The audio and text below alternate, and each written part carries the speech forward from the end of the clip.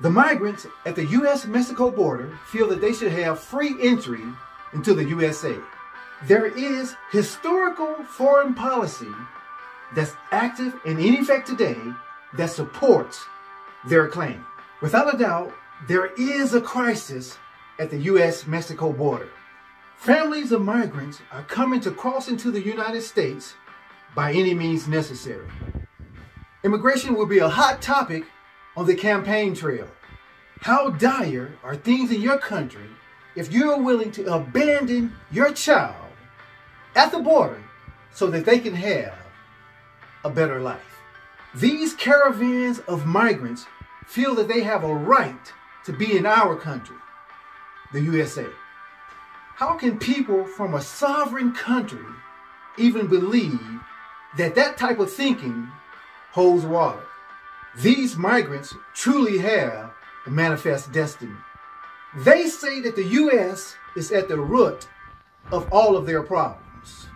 Here are a few things that they claim.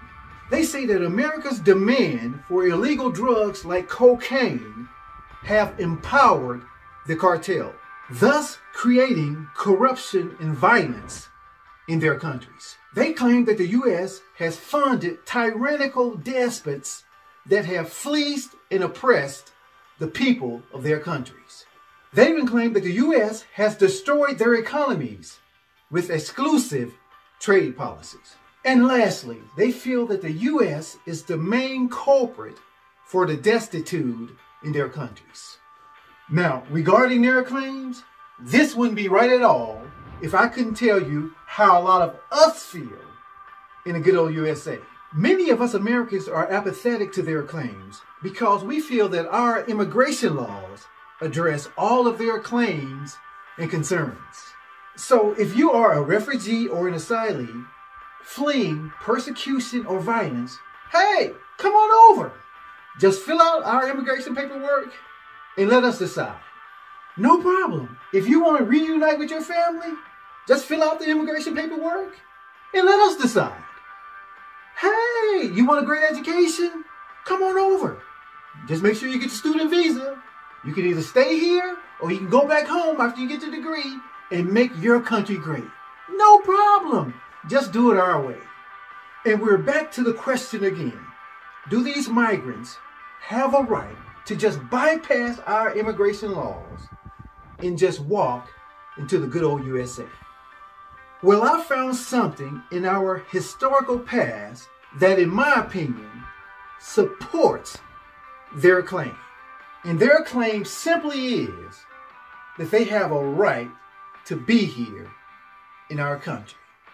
Back in 1823, over 200 years ago, the United States made a unilateral decision to take dominion over the entire Western Hemisphere. This foreign policy is a preemptive statement that protects the Americas mainly from France and Spain.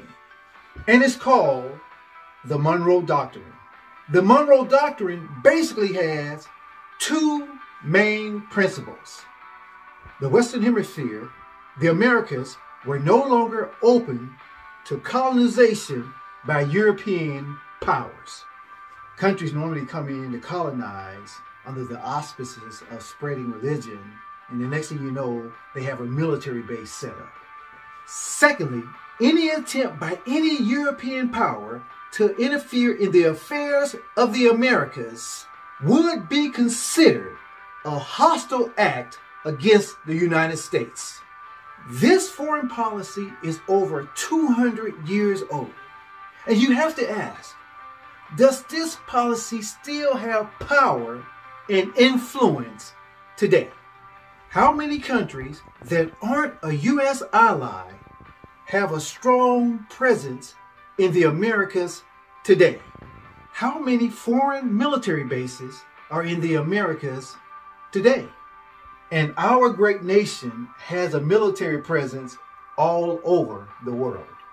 If the United States can preemptively and unilaterally claim dominion over an entire hemisphere, aren't the people in this hemisphere owed something, the Monroe Doctrine unilaterally and illegally crossed the borders of every sovereign country in the Americas.